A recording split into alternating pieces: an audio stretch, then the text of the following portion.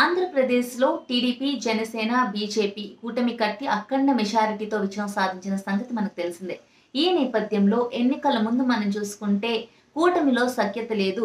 కూటమిలో నేతలకు ఒకరికొకరికి పొసగడం లేదు. ముఖ్యంగా సీట్ల సర్దుబాటు విషయంలో జనసేన నేతలంతా అసంతృప్తిగా ఉన్నారు అన్న వార్తలు అయితే గట్టిగా వినిపించాయి. బట్ ఎలక్షన్స్ టైంకి మాత్రం చాలా కలిసికట్టుగా వీరందరూ పోటీ చేసి అఖండ మెజారిటీతో విజయం సాధించడం జరిగింది. అయితే ఎలక్షన్స్ తర్వాత మనం చూసుకుంటే మళ్ళీ తాజాగా నామినేటెడ్ పోస్టుల విషయంలో జనసేనకు అన్యాయం జరిగింది. జనసేనకు ఏదైతే ఎన్నికల్లో పదమూడు శాతం సీట్ల షేర్ ఇచ్చారో అదే ఇప్పుడు నామినేటెడ్ పదవుల విషయంలో కూడా ఇవ్వబోతున్నారు. దీంతో జనసేన నేతలంతా అసంతృప్తిగా ఉన్నారు. ఈ కూటమి ఎంతో కాలం ఉండదు అని అనేక రకాల వార్తలు రావడం జరుగుతోంది. దీనికి కారణం లేకపోలేదు. ఎందుకంటే రెండు వేల పద్నాలుగులో ఈ విధంగానే టీడీపీ జనసేన బీజేపీ కూటమి కట్టి అధికారంలోకి వచ్చినప్పటికీ కూడా అప్పటి కూటమి అయితే కలకాలం నిలవలేదు. విడిపోవడం జరిగింది. ఒకరినొకరు నిందించుకున్న పరిస్థితి ఏర్పడింది. అయితే రెండు వేల పద్నాలుగులో ఏదైతే జరిగిందో రెండు వేల ఇరవై నాలుగులో కూడా అదే రిపీట్ కాబోతోంది అని చెప్పి అనేక మంది రాజకీయ విశ్లేషకులు కానీ ప్రతిపక్షాలకు సంబంధించిన నేతలు కానీ కామెంట్ చేస్తున్న పరిస్థితి. అయితే ఇప్పుడు జరుగుతున్న పరిణామాలు చూస్తే నిజమేనేమో అని అనిపించక మానదు.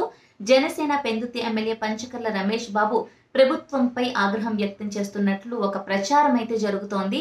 తాను సిఫారసు చేసిన కాపు సామాజిక వర్గానికి చెందిన సిఐకి పోస్టింగ్ ఇవ్వకపోవడంతో ఆయన ప్రభుత్వంపై తీవ్ర అసహనం వ్యక్తం చేస్తున్నట్లు తెలుస్తోంది. ఈ నేపథ్యంలో ఆయన తన ఇద్దరు గన్మెన్లను సరెండర్ చేసినట్లు కూడా ఒక వార్త హల్చల్ చేస్తోంది.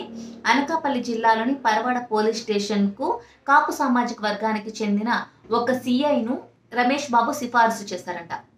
ఈ నేపథ్యంలో కాపు సామాజిక వర్గానికి చెందిన వ్యక్తిని కాదని కమ్మ సామాజిక వర్గానికి చెందిన మల్లికార్జున్ అనే వ్యక్తికి మంత్రి నారా లోకేష్ పోస్టింగ్ ఇప్పించారని చెప్పి వార్త గట్టిగా వినిపిస్తోంది. ఈ నేపథ్యంలో రమేష్ బాబు తీవ్ర అసహనంతో ఉన్నట్టు తమ సామాజిక వర్గాన్ని కాదని తాను సిఫారసు చేసిన వ్యక్తిని కాదని కమ్మ సామాజిక వర్గానికి చెందిన ఆ, వ్యక్తికి ఇవ్వడంతో ఆయన ప్రభుత్వంపై అసహనం వ్యక్తం చేస్తూ తన ఇద్దరు గన్మ్యాన్లను సరెండర్ చేశారు అన్న వార్త అయితే బ్లూ మీడియాలో బాగా ప్రచారం జరుగుతోంది.